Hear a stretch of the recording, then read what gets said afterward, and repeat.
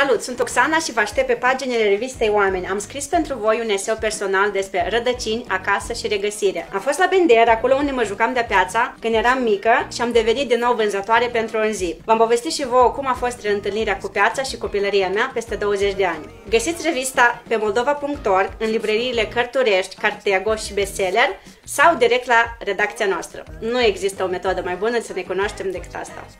So you better be sure